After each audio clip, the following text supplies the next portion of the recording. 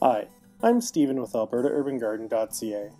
Welcome to the fifth episode of the Garden Soil series. Last time, we began to discuss the nutrient cycle in the garden. As a part of this discussion, we spoke of the 18 elements plants require to live. On today's episode, we're going to dive deeper into the nutrient cycle and what us humans need to get out of it. Through an elimination study, universities were able to determine plants only require 18 elements in a bioavailable form for optimal growth. Humans are not as lucky as plants. We humans require the 18 elements plants do, plus another 8 for a total of 26 of the roughly 98 elements. The 26 elements were picked up on a variety of biochemical survey methods However, some of their relationships are not well understood.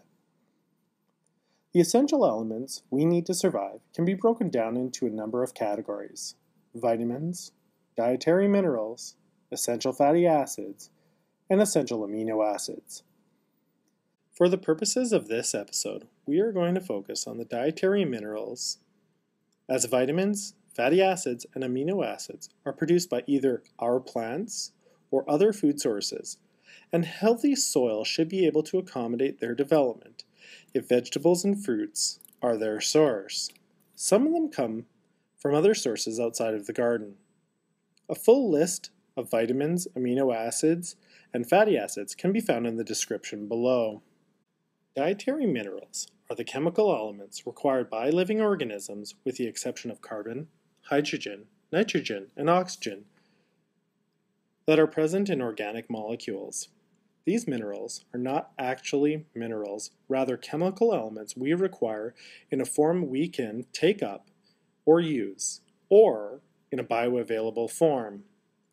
Most of these elements are relatively common on land in healthy ecosystems.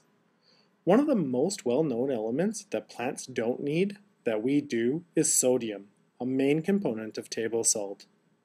Both sodium and iodine are less common on land however typically found in other dietary sources. Plants won't let us down though. Although they do not need some of these elements, plants are able to absorb them through the roots and incorporate them in the crops we harvest and eat. In order to make the minerals bioavailable, beneficial bacteria play a key role in converting them from the parent material. Nutrition is important, and it's better when ripe. For example, a recent study on green and red sweet bell peppers show an increase of trace elements when the pepper is allowed to ripen. In order to make sure the soil is healthy and can provide both the 18 elements plants need and the additional 8 we do, a few simple cost-effective tricks can help the soil food web and nutrient cycle.